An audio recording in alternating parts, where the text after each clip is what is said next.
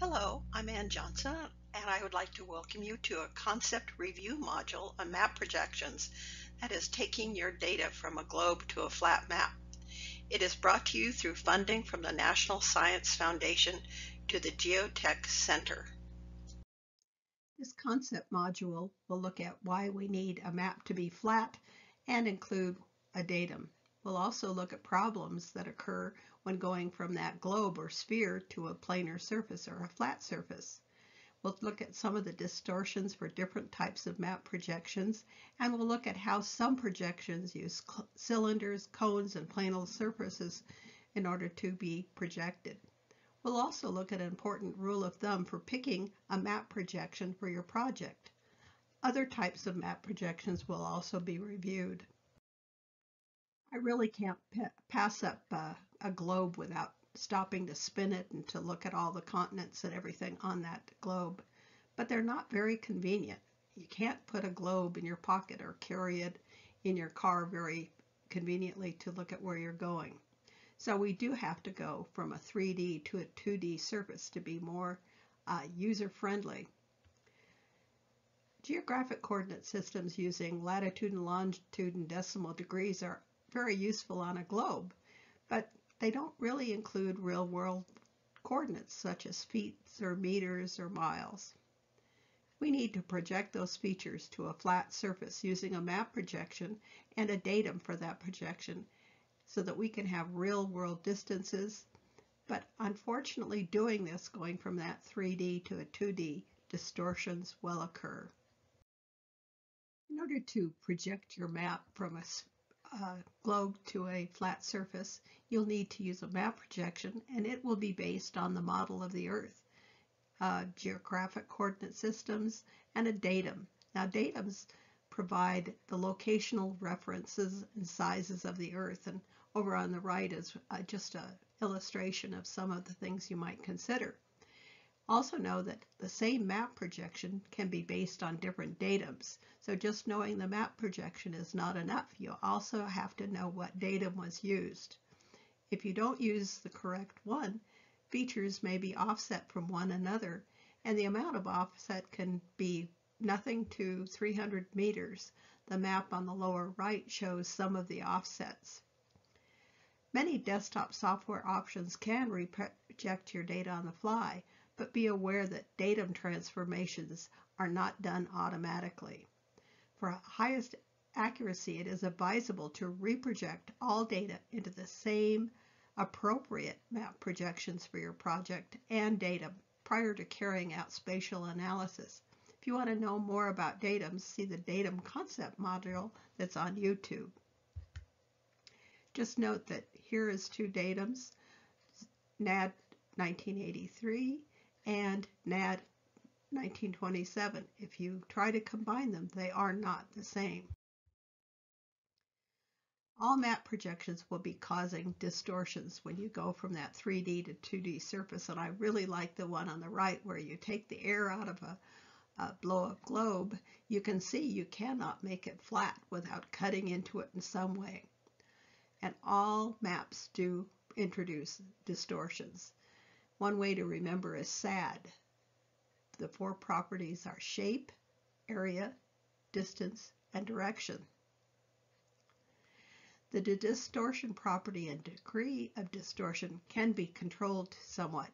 You want to use a map projection that preserves the most important property for the specific need of your application.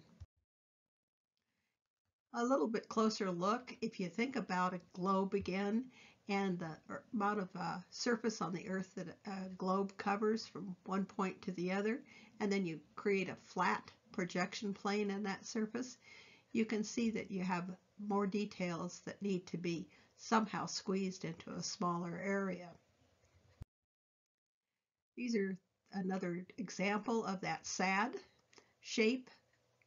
It can be distorted, area can be distorted, distance can be distorted, and the direction can be distorted.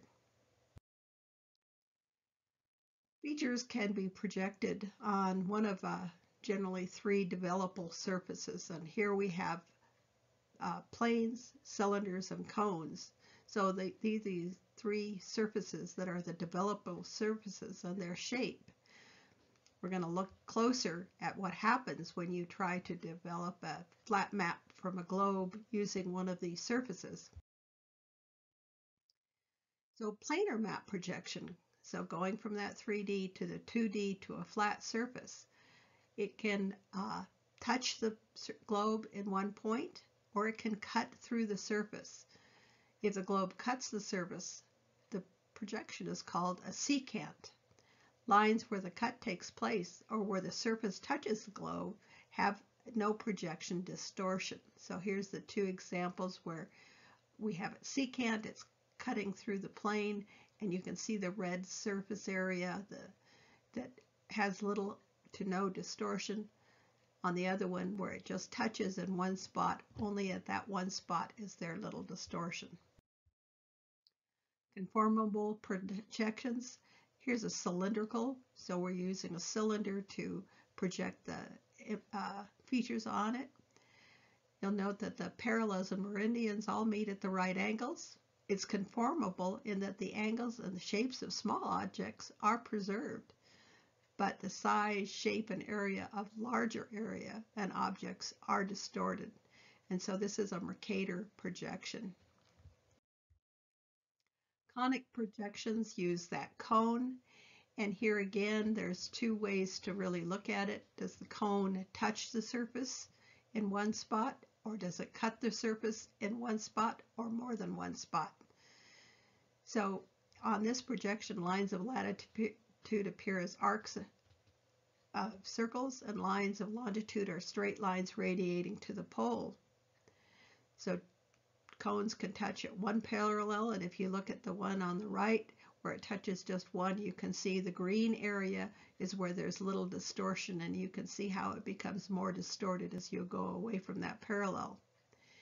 Also you can have it touch more than one so on the right it's touching and cutting the surface in two points and you can see the green areas where those two parallels are touching are not distorted and as you get away from those you become more distorted. The Lambert uh, conformal conic projection is commonly used to map North America. And if you look at the illustration on the right, it does give you the state that you often see. Equivalent projections for conic projections. And here again, you see that uh, map of the United States, and you can tell this one because it has that curved upper boundary of the United States. It's equivalent or it's an equal area projection and it preserves area accurately. Scale and shape are not necessarily preserved. And on the right, we have the Albers equal area. Cylindrical projections, uh, think about wrapping that paper around the Earth as a cylinder. The Mercator projection is the best known cylinder projection, and it is conformable. At any point, the scale is the same in both directions. Shape of small features are not distorted, but areas of high latitudes are significantly enlarged. The universal transverse Mercator, often shown as UTM projection, is a type of cylinder projection, and the difference is in the transverse Mercator, the cylinder is wrapped around the poles and not the equator. It's been implemented in international standards and it was initially devised as for use by the military. It uses a system of 60 zones and each of the zones are six degrees wide and has very little uh, distortion within each of its zones. This is what one zone looks like and it has uh, values, locational values for Northern Hemisphere, the equator is defined as zero north. The central meridian of the zone is given a false easting of 500,000 meters east. Easting and northing are both in meters, allowing easy estimation of distances. So each of those UTM zones consists of a zone number, a hemisphere, and a six-digit easting and a seven-digit northing. And here, this is an example of how that would be written down as a location. Some places you will see the E and the N. some places it will just have the 14 north and then the two sets of numbers. This is showing how that grid is uh, cylindrically around the, the Earth. If you'll notice it starts at 180 degrees and uh, starts out at zero and progresses around to 180 degrees. This is looking at the US and you can see the zone numbers 10, 11, 12, 13, 14, 15, 16, 17, 18, 19 progressing from west to east every six degrees. One of the important things when you're doing an analysis and you're going to be looking at your data, you need to understand which map projection is the best for your application. So this is a rule of thumb. So these are the three projections, cylindrical, conic, or planar, and this is what is uh, best preserved. So for cylindrical, direction and shape, conic, distance and area, and planar, distance and area. When the correct projection is important on small scale maps, you really want to be able to calculate different things, shapes, areas, distances, and directions. So if you use the wrong projection, you're going to get the wrong answer. On the left, we have the Mercator projection, and it's showing a distance of over uh, 3,124 miles. On the right, we're using that Albers equal area projection, and the distance is shown as 2,455 miles. The actual distance is very close to that Albers equal area projection, where the, the Mercator projection is really off by a lot. When the projection is not as important is really on large scale maps, so a small area with a lot of detail. The area is neg negligible for a small region, uh, such as being mapped as a neighborhood. Cities, businesses, policy and management applications often show just a very small area, and so you're okay. One thing is uh, a lot of the things we see today uh, online, especially on our computers, is Web Mercator. It's used by many online mapping applications such as Google, ArcGIS Online, Bing, and many others. Web Mercator is not truly conformable and distortions increase as the map locations move from either north or south of the equator.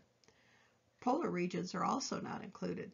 Some users, and this is the Department of Defense, because they require high accuracy, do not allow these projections to be used for, within their organization for analysis. ESRI suggests that data be reprojected using updated datums when used with other data as area and distance calculations may not be accurate. We saw how inaccurate they can be. They, uh, Esri has a little demo site that's kind of interesting to show the differences. So uh, this is going out to that demo site. We can create a polygon in a region and look at the different values. So Web Mercator is showing an area that is quite different than state plane or UTM zone 10. So if you need accurate results, make sure that you have used the correct map projection. There are other coordinate systems in use. Uh, state plane system, which is used extensively across the United States. Within the states, each state has their own uh, state plane system values, uh, whether there's one zone or multiple zones. Uh, several different types of projections are used in the system. They do provide less distortion within that uh, region of their states, but uh, they can be problematic if you try to have to cross state boundaries. There's also the public land survey system. You're going to see this as township and range with baselines and meridians. These are the references used uh, in this concept module. If you need more help, there's modules on datums, and there's also model courses. I would suggest the Intro Course 101 or the GST 103 as being very useful for understanding map projections. I hope this concept review module has been helpful. If you have any questions or suggestions, please uh, contact me, Ann Johnson, at the email listed here. If you need more help, the GeoTech Center does have on its website model courses and other DACUMs. Thank you.